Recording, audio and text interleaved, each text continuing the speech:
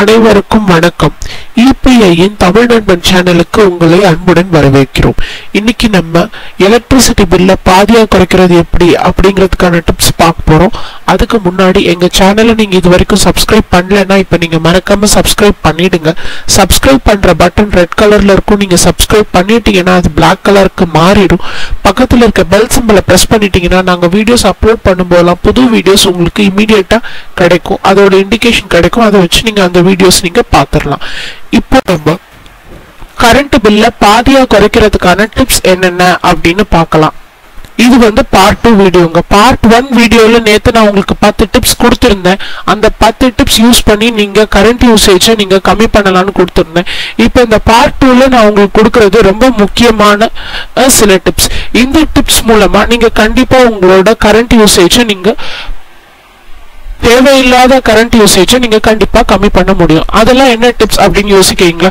எல்லாம் உங்களுக்கு தெரிஞ்ச டிப்ஸ் தான். எந்த டிப்ஸும் புதுசு கிடையாது. ஆனால் எல்லா டிப்ஸையும் நான் உங்களுக்கு நினைவூட்ட விரும்புகிறேன் முதல் டிப்ஸ் என்ன அப்படின்னு பார்த்தீங்கன்னா நம்ம charger TV washing machine grinder mixie water heater இது எல்லாத்தையும் நம்ம வந்து யூஸ் பண்ணுறதுக்கு முன்னாடி த்ரீ பிளக்கில் வயரை மாட்டி சுவிட்ச் போட்டு யூஸ் பண்ணுவோம். ஆனால் யூஸ் பண்ணி முடிச்சதுக்கப்புறமா அப்புறமா ஆஃப் பண்ண நம்மள பெரும்பாலானவங்க மறந்து போயிடுறோம்.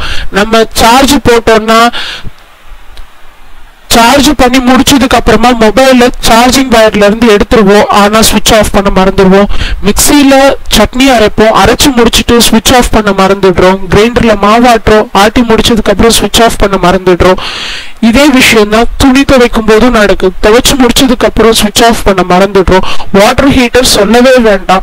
பாத்ரூம்குள்ளே வாட்டர் ஹீட்டர் இருக்கிறதுனால குளிச்சுட்டு வந்தோடனே ஈர கையோட அமர்த்தினோம்னா ஷாக் அடிச்சிருன்றதுனாலயே அந்த ஒரு எண்ணத்தினாலே நம்மள பெரும்பாலானவங்க வாட்டர் ஹீட்டர் சுவிட்ச் அமர்த்த மறந்துடுறோம் இந்த மாதிரி விஷயங்களால பவர் கன்சப்ஷன் அதிகமாகுது.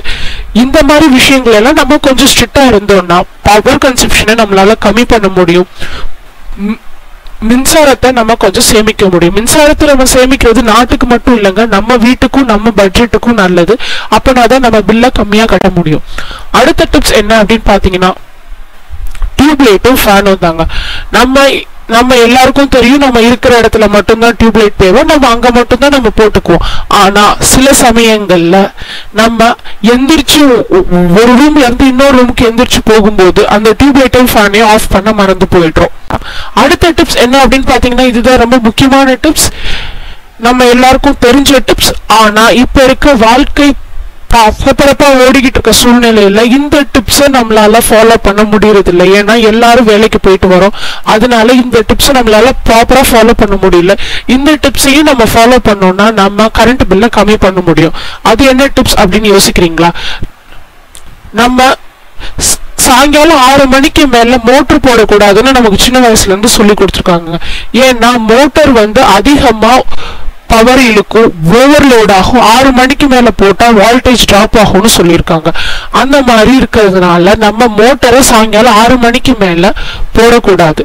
தண்ணி இல்லை அப்படின்ற மாதிரி இருந்ததுன்னா தவிர்க்க முடியாத சுச்சுவேஷன்ல போட்டுக்கலாம். ஆனா நம்ம பிளான் பண்ணி காலையிலேயே மோட்டர் போட்டு வச்சுட்டோம்னா சாயங்காலம் ஆறு மணிக்கு மேல மோட்டர் போட வேண்டிய தேவை நமக்கு இருக்காது. ரெண்டாவது மைக்ரோ ஓவன் மைக்ரோ ஓவன் வந்து நமக்கு சாப்பாட்டை நிமிஷத்துல நமக்கு சூடு பண்ணி கொடுத்துரும் நல்லா சூடு பண்ணி கொடுத்துரும். ஆனா விஷயம் என்னன்னா மைக்ரோ ஓவன் அதிகமா பவர் கன்சியூம் பண்ணுது.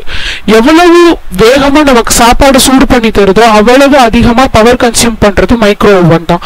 அதனால சாயங்காலம் ஆறு மணிக்கு மேல மைக்ரோ ஓவன்ல சாப்பாட்டு பொருட்களை சூடு பண்றத தவிர்த்துருங்க. அதே மாதிரி வாட்டர் ஹீட்டர் வாட்டர் ஹீட்டர் நமக்கு மழை காலத்துல வாட்டர் ஹீட்டர் கண்டிப்பா தேவை. அந்த மாதிரி சுச்சுவேஷன்ல நாம் நம்ம வந்து வாட்டர் ஹீட்டர் நம்ம யூஸ் பண்ணி தான் ஆகணும். ஆனா மித்த நேரங்கள்ல வாட்டர் ஹீட்டரை சாயங்காலம் ஆறு மணிக்கு மேல யூஸ் பண்ணாதீங்க. சாயங்காலம் ஆறு மணிக்கு மேலே நீங்கள் வாட்டர் ஹீட்டர் யூஸ் பண்ணும்போது மைக்ரோ ஓவனுக்கு என்ன கேட்டகரியோ அதே தான் வாட்டர் ஹீட்டருக்கும் அதிகமாக பவர் கன்சியூம் பண்ணும். ஸோ ஆறு மணிக்கு மேலே யூஸ் பண்ணாதீங்க. கிரைண்டரை நம்மளால் தவிர்க்க முடியாது. எல்லாரும் வேலைக்கு போயிட்டு வரோம். சாயங்காலம் தான் மாவாட்ட முடியும். அதனால கிரைண்டர் யூசேஜை நம்மளால தவிர்க்க முடியாது. ஃப்ரிட்ஜ் பார்த்தீங்கன்னா டுவெண்ட்டி ஃபோர் பார் செவன் எல்லாரும் வீட்லேயும் வந்து ஃப்ரிட்ஜ் ஓடிக்கிட்டே தான் இருக்கும். அது வந்து எக்ஸப்ஷனல் கேஸ் ஏசி அதுவும் எக்ஸப்ஷனல் கேஸ் இப்போ இருக்க வெட் வெப்பமான சூழ்நிலையில நமக்கு ஏசி தேவைதான்.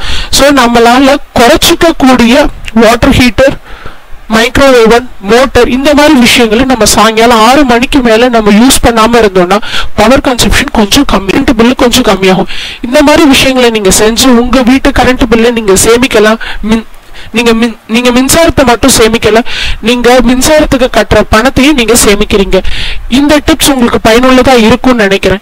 இது போல மேலும் பல பயனுள்ள தகவல்களுக்கு தொடர்ந்து இணைந்திருந்தேன் தமிழ் நண்பனோடு. நன்றி வணக்கம்.